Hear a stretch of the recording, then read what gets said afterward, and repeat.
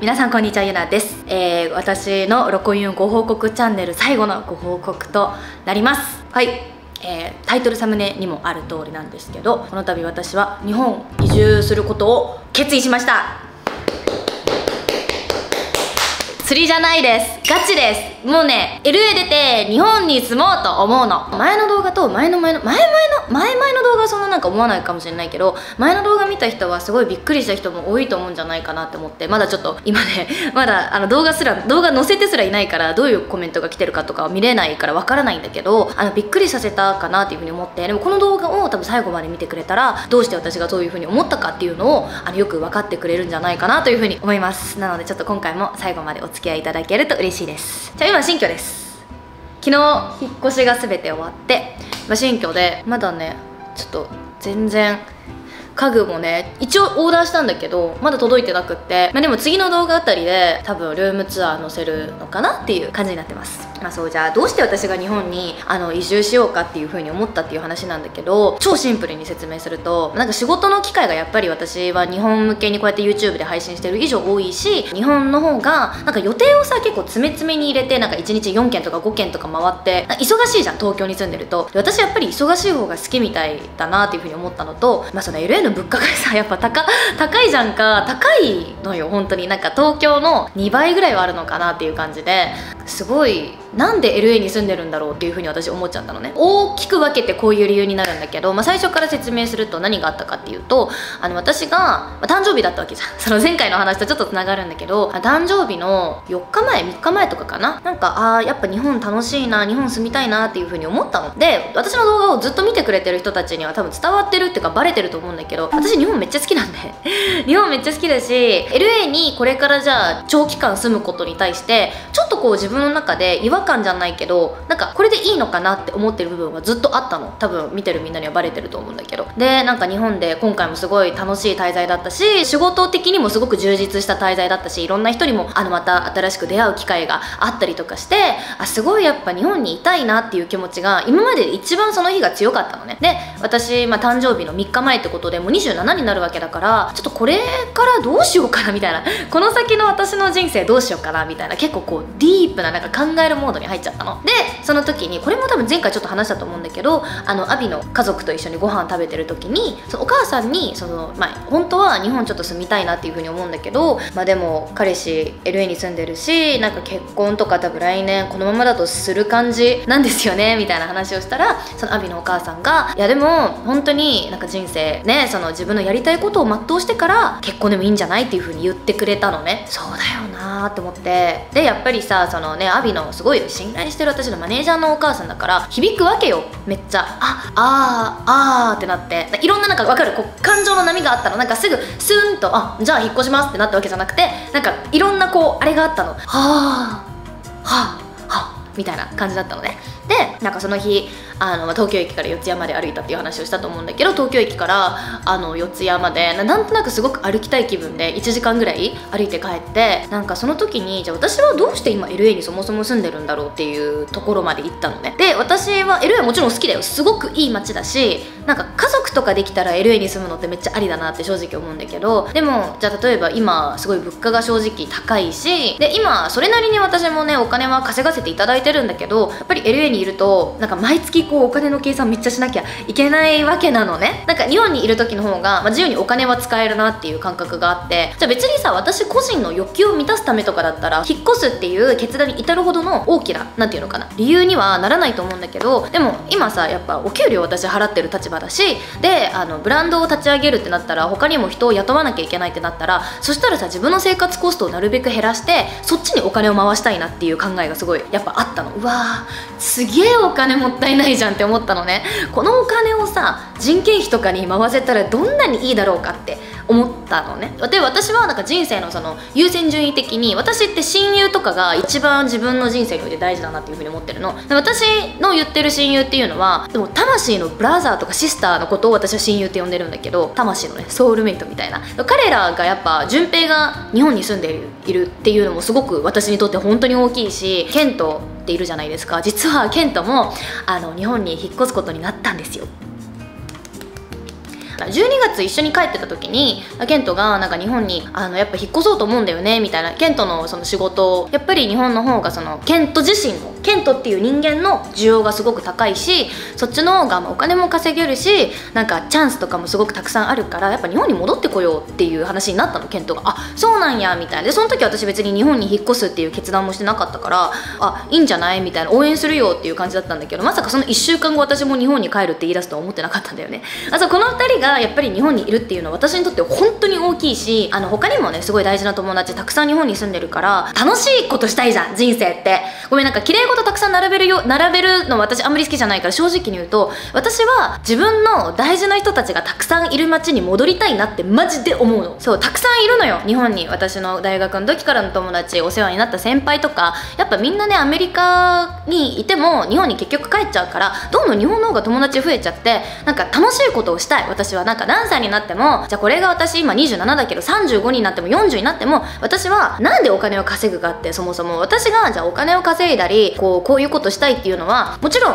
じゃあ自分がどこまでいけるか試すっていうのもあるけどでも一番はなんか自分の会いたい人たちにいつでも会いに行ける自分になりたいからっていうふうに思ったからなんだよね。だからみんなさなんか人生のなんかこうあなんか順位って違うと思うんだけど私は飲み会が大好きなのね。知ってると思うんだけど。でやっぱ日本だと自分の好きな遊びもできるし好きな友達とかもたくさんいるしあ帰りたいなってやっぱり思うわけ日本にいる時が楽しすぎて。だからまあそれも大きな理由ですね。それがまあ大体3割ぐらいでなんか LA にいる意味をそもそもじゃあその考えた時に私なんで LA いるんだろうっていうふうに思った時私を LA にとどまらせるとどまらせてる理由っていうのはショーだなっていうふうに思ったんですよ。あショーがこっちにいるから私こっちにいたんだっていうふうに思ったのね。なんていうのかな。難しいんだけどすごく。なんか前回話した感じだと後半付き合ってる時ってどっちかっていうとじゃあ責任とか義務とか彼を悲しませたくない。っていう一心でこう付き合っててだ彼女としての務めをって言ったらすごいなんかこう仕事とか事務的な言い方になってしまうんだけどでも本当に正直に言うとそういう感じだったんだよね。まあもちろんそれそこまで私をさせるっていうことはすごくやっぱ翔って本当に私にとって大事な人であるのは全然間違いないんだけどでも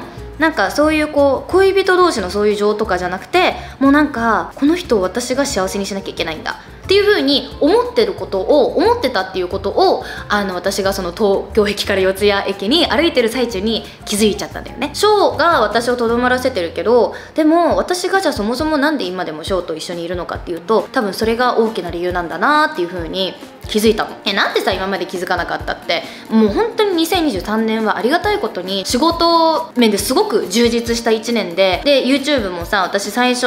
2023年入った時8万人とかだった登録者数が今28万人か20万人増えてでもこれもじゃあ私がさ寝てる間に勝手に増えたとかじゃなくてもうそれなりにやっぱ頑張ってきたんですよ。ショート動画週5本ロング週2本だったのがもう後半はロング動ショート動画毎日投稿ロング動画週2投稿。でその裏でね私も養う人がいるわけだしじゃあもちろん YouTube やる以上ちゃんとお金を稼ぐぞっていうのもあるから案件もやらせてもらってるんですよ。ごめんねこれは嫌がる人多いのは分かってるんだけど案件は私はちょっとやっぱりなんかいいなって思ったものはやってます。やります。そう。そういうのもいろいろやってると本当に忙しくってもう自分のマインドが仕事にこうやってフォーカスしないとそこまで多分いけないと思うんだよね。だから全然なんか自分の恋愛面とか自分のそういうプライベートのなんつうのその感情とかを全然私考える暇がなかった余裕がなくて。でやっと、まあ、誕生日の前だったし誕生日はお休み取ってたからなんかすごいいろいろ一人で歩きながら考えてたらあ私自分で気づいてなかったけどもうそこに対する気持ちとかそこに対するなんつうのかな恋愛とかに対する姿勢があもう変わっちゃってたんだみたいな。でもさやっぱさ人間ってさ自分のためにしか生きれないからめっちゃ自分勝手なこと言ってるの分かってんの。別に叩いてもらっても構わないの。だって叩いてるやつらはあのお前に関係なくねって思うけどね。うちらの話だし。あの円満に分かれてるしうちらって思うんだけど。でも私はやっぱり自分のために生きたいなっていうふうに思ったのね。だから自分のやりたいことを私はしてからちゃんとじゃあ結婚だったり子供を産んだりそういう家庭を作るとかもねいずれはもしかしたら誰かとするのかもしれないけどそれは今じゃないからじゃあ今したいって思っている彼をさこうずっとそうやって引き止めるのも良くないと思うし、まあ、それで別れちゃったっていう話なんだけどそうなの。そう考えた結果じゃ今一緒にいる人のために私のじゃ将来的にやっぱ東京にいた方が絶対チャンスがあると思うからじゃあそのチャンスを振ってまでこっちに残るかっていうあのそそこまでの思いが私にはなかった。っていうのが大きかったんですね。ブランドもね始めるってなったらやっぱり日本にいた方が絶対に有利だし有利っていうか日本にいないと多分無理っていう風にみんなにも言われたの。その立ち上げとかやってる友達とか経営者の友達とかにも何かのやっぱ会社の立ち上げってもちろんそこにいないと無理だよって言われてですよねですよね帰んなきゃだよねって思ってだよなって LA でできるなんて無理だよなって思ってなんならなんかこうやって考えると私が日本に住まない理由が本当に1個もなかったから、まあ、日本に住もうかなっていうふうに思います。じゃあ問題はですよじゃあ何ビザで住むんだっていう話ですよ。でもちろんねこうやってね表に出てる以上てか表に出てなくてもあの日本にね不法滞在するつもりは全くありません。もちろんないですよそんな理由は。でも私は皆さんのご存知の通りアメリカ国籍しか持っておりません。どうしよう困ったなっていう感じなんだけどだから日本には正式に、えっと、ビザを申請してビザで、え、行こうと思います、ま、だからその日本に移住する決意はしたしもう弁護士さんとも話してでこういろいろ進めてるところではあるんだけどまだすぐ日本にじゃあ来月から行こうっていう感じにはならないです。結構やっぱビザの申請めちゃめちゃめんどくさくっていろいろ準備のあれがあるからもしかしたら頻繁に日本にまたてか、まあ、普通にその今まで以上に日本とアメリカ行き来しなきゃいけないんだけどてかあの1月もあの月末ちょっと日本に行ってきます。これはね本当に行く予定なかったんだけどちょっとこうビザのその進行的にどうしてももうすぐ今すぐ帰っていろいろ終わらせといた方がその進行しやすいからうわーって思って急遽ちょっと1月も日本に2週間ほどかな今回は行くことになりました。ビザって大変だね。なんか今まで自分がさずっとアメリカ国籍持ってて留学生の子たちとかじゃあこっちで仕事したいっていう人をたくさん見てきてうわみんなビザ本当に大変だな頑張ってって思ってたけど私がそれ思われる側になりました。でもまあせっかくだからなかなかいないじゃんねこんなアメリカから日本のビザを取得しようとしてこう何悪戦苦闘してるやつなんてさ YouTube で見ることなかなかないっしょ。だからちょっとみんなにもね私がビザを取得するまでの道のりをちょっと YouTube にね残してドキュメンタリー的な感じでちょっとみんなにあのシェアハピ？できたらいいなというふうに思います。ちょっとだから来年は私のチャンネル的なあれだとあのそういうコンテンツが多分見れると思うのでぜひねまだチャンネル登録してない方はぜひチャンネル登録して動画を楽しみに待っててください。ビザすごいめんどくさそうだからもう今からうわめんどくせえどうしようって思うけどでもやっぱりそそんぐらいめんどくさいことをしてまでも私は日本に住みたいなって思うしなんか大変なことを経験した分人間って強くなれるから私今までの人生はまあまあ大変だったんだけどねあの親ネグレクト軽くネグレクトだしヒステリックだしあもう言い出したらキリがないから他の動画を見てほしいんだけどすごい大変だったけど全部私は一個一個ちゃんと向き合ってぶつかってきて乗り越えてきてるからそれで今私わりかし強い方だなって思うしビザの取得とかってさなかなか経験しないじゃん。でもそれを乗り越えた時の自分じゃあブランドを一から作りますっていうなんかちょっとこうみんながやらないルートでこうやってきてうまくいった時の自分ってさえ超キラキラしてんじゃね？超かっこよくない？と思って。えだったら私はちょっともうチャレンジしないわけにはいかない。ないなと思ってちょっとチャレンジしようかなっていうふうに思います。はい。めっちゃ楽しみなの伝わるかな？すごいね新しい目標ができるってめちゃめちゃ嬉しいなって思って。なんか正直言うとなんかその LA での生活をまあ普段は配信してたんだけど自分でも去年の78月ぐらいかななんか収入的な意味ではもういい感じにちょっと稼ぎ始めちゃって LA での生活も、まあ、もちろんそのもう自由にじゃバカみたいにお金は使えないけど割と懐の余裕はあったからなんか生活にちょっとマンネリしてたんだよね自分の中でも。うんつまんないつまんなくはないんだ。つまんないって言ったら違うんだけどなんか刺激が足りなかったりとかあ今の自分ちょっと挑戦してないなみたいな。YouTube はねもちろんずっと頑張ってきたんだけどでも慣れてきちゃったは慣れてきちゃったわけさもう3年ぐらいやってるからさ。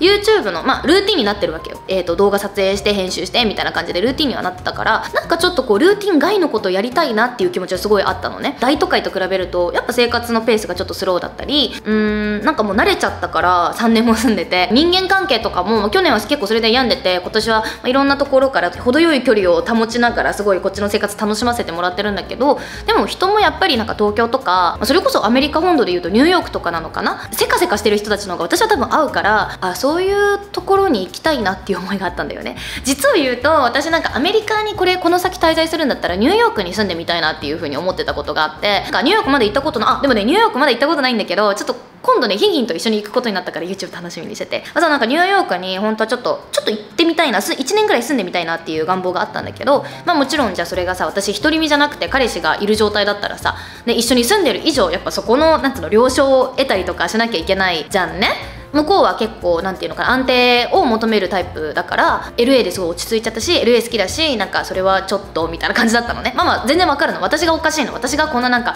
わがままばっか言ってるからなんかでこここうやりたいああやりたいみたいなこうなんかバカみたいななんつうのわがままばっか言ってるからなんだったら私の方が向こうに寄り添えなかったからまあちょっとその話はまあ暗くなっちゃうから置いといてなんだけどまあそういう話もする時になんか私はすごいあそっかまあ確かに LA にねずっといたいんだ。じゃあそこは尊重してあげようっていう気持ちにはなるんだけどけどでもあじゃあ LA に最初引っ越してきた時のなんか全部何も知らなくて孤独だったけどこれからこの知らない景色が見慣れた景色になる過程を楽しむことってもう二度とできないんだなって思った時すごく落胆したんだよね。なんかこうワクワクっていうかなんか冒険してる感覚を私も味わうことできないのかなって思った時になんかすごい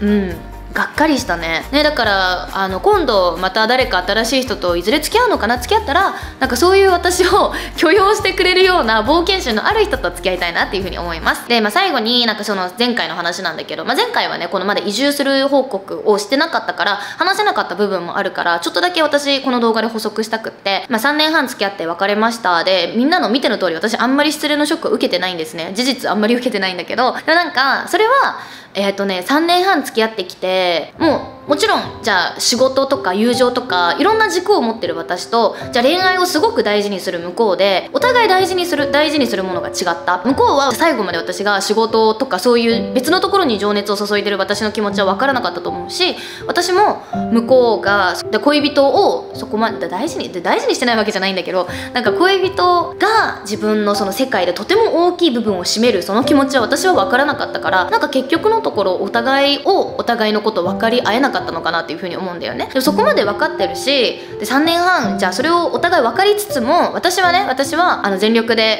ぶつかったし全力で改善できるんじゃないかとかじゃあどこで妥協したらいいんだとかなんか2人のその中間ポイントとかもすごい頑張って探したけどでもそれができなかったからもう全部やりきったから悔いがないんだよね。全部やりきった未練はないです。だから私は気持ちよく、えーと新しい人生をこれから歩めるです。変な変な話し方になっちゃった。まあなんか今回の件はすごい私も本当に1週間考えて1週間の間で決めてでバタバタな感じであの決めちゃってるから正直私もまだ気持ちの整理が追いついてない部分もあるしでみんなからしても何言ってんだこいつみたいな急にいろいろ変わりすぎじゃね？決めすぎじゃね？っていう風に思う部分もすごくあると思うからちょっとねあの、えーと、Q&A みたいな多分やると思うのでその時になんかみんながこういう風に疑問に思ってるところをピックアップしてちょっとねお答えできたらいいなという風に思います。だからなんかインスタで多分質問募集したりすると思うのでぜひねインスタフォローしてください。てかめっちゃさ今回さピンボケしてんだけどなんでこれ？カメラ壊れた？